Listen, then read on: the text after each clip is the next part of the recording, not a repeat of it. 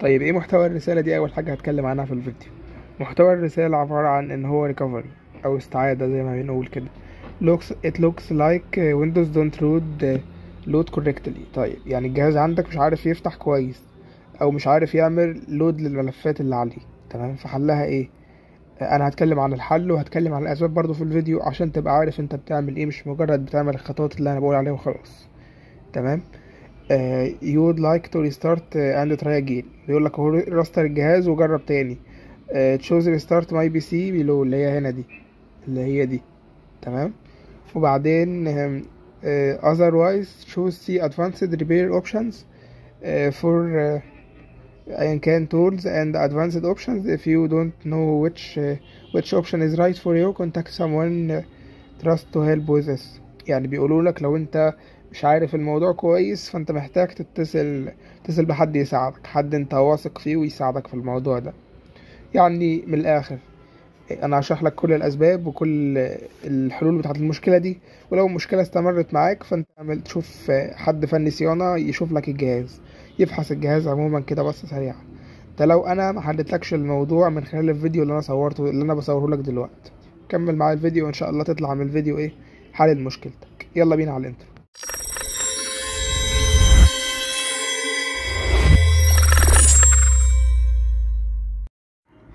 يا هلا والله في فيديو جديد في قناة سموكي باشا طيب فيديو النهاردة يا جماعة أنا هتكلم معاكم عن إزاي تحلوا المشكلة دي. إزاي تطلع من وضع الـ recovery أو تحل مشكلة الـ recovery اللي بتظهر لك في الجهاز بتاعك. عموما هي المشكلة بيبقى أحيانا ليها أسباب سهلة واحيانا ليها أسباب صعبة جدا. تمام؟ طيب أول حاجة هي بتظهر ليه؟ لو أنت جهاز كمبيوتر فهي ممكن تكون بظهرها لك عشان الـ RAM ة مش راكبة كويس أو الـ hard disk نفسه مش راكب كويس. دي الأسباب السهلة. فأنت دلوقتي تعمل إيه؟ تفتح الـ case ة نفسها أو الـ case زي ما بنسميها وتبص على الـ RAM وتبص على الـ hard تشوفهم راكبين كويس في مكانهم ولا لأ. لو هما مش راكبين كويس ركبهم كويس وممكن تخلعهم وتركبهم برضو عشان تتأكد إن هما راكبين تمام يعني. ده أول حاجة. تاني حاجة بقى والأهم من دي عموما آه إن أنت ممكن يكون عندك مسحت مسحت ملفات من الـ C بالغلط. طيب إيه الحل في النقطة دي؟ الحل في النقطة دي إن أنت تشوف أنت مسحت إيه وتحاول ترجعه. أو لو أنت مسحت ملفات كتيرة من الـ C ممكن تكون مأثرة على الجهاز نفسه أو مأثرة على النسخة. فأنت للأسف هنا هتحتاج تعمل حاجة اسمها آه تنزل نسخة جديدة يعني. تنزل نفس النسخة بس نسخة جديدة. وللأسف ساعتها أنت هتخسر كل الملفات اللي على الـ desktop أو اللي على سطح المكتب عموما يعني. تمام؟ طيب دي تاني نقطة. تالت نقطة بقى والأهم من ده كله إن أنت ممكن يكون الـ hard disk بايظ أو الـ RAM ة بايظة. في الحالتين دول انت لو جربت كل الحاجات دي والجهاز ما اشتغلش فانت محتاج تغير حاجة من الاتنين دول.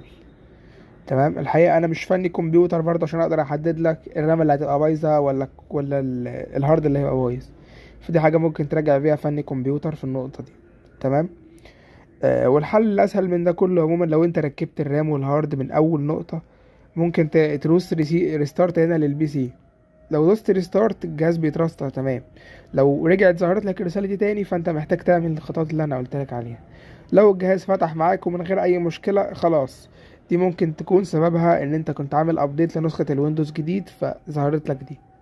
تمام. لكن أنت دلوقتي طالما restart واشتغل معاك الجهاز تمام فمية مية مفيش أي مشكلة عندك. تمام. فإحنا دلوقتي هنعمل restart للجهاز ونشوف الدنيا. والله ال restart ما تحلش نشوف الدنيا دي وإيه. ونحاول نمشي الخطوات زي ما أنا قلتها. ماشي؟ طيب بعد ما رسترنا ما اشتغلش الموضوع. هندوس see advanced هنا كده أو F تسعة. يا تختار دي يا تختار F تسعة. تمام؟ عشان تشوف الحاجات عندك كده أو الملفات ال C عموما إيه دنيتها. ممسوح منها حاجة ومش ممسوح منها حاجة. الكلام ده لو قلنا إيه؟ لو أنت على كمبيوتر. طيب لو أنا لاب يا محمد لو أنت لاب هتدوس restart هنا للجهاز عادي؟ وبرضه لو الجهاز مثلا اتخبط منك أو حاجة قبل الموضوع ده فممكن يكون ده مأثر. بمعنى إن أنت ممكن يكون الهارد متحرك من مكانه أو الرامة نفسها مش راكبة كويس. ده لو الجهاز اتخبط منك. لو أنت زي حالتي كده عادي أنا صحيت من النوم بفتح الجهاز لقيته كده. فهتدوس restart عادي وخلاص وهترستر الجهاز وهيفتح معاك تاني. لو ما فتحش معاك فأنت محتاج تدوس زي زي الكمبيوتر بالظبط F تسعة أو تدوس see advanced repair options وتشوف مسحت ملفات من ال C ولا لا. تمام؟ أنا في حالتي أنا عملت restart الجهاز اشتغل عادي من غير أي مشكلة ومن غير أي حاجة. وده ممكن يكون راجع زي ما قلت لك إن أنا ممكن أكون عملت update للجهاز من كام يوم. من حوالي أربع أيام كده أنا عملت update للويندوز كله. كان ويندوز عشرة زي ما هو بس ده كان update كبير شوية. فده ممكن يكون سبب من الأسباب. وبس كده. أنا شرحت لك فيديو النهارده ومش حابب اطول لك فيه بصراحة. أنا حاولت اشرح لك كل الاسباب اللي ممكن تكون إيه اللي ممكن تكون مأثرة على الجهاز عموما أو ظاهرة لك الرسالة دي. وبس كده لو استفدت من الفيديو النهارده يا ريت تنزل تعمل subscribe للقناة ولايك للفيديو وسلام.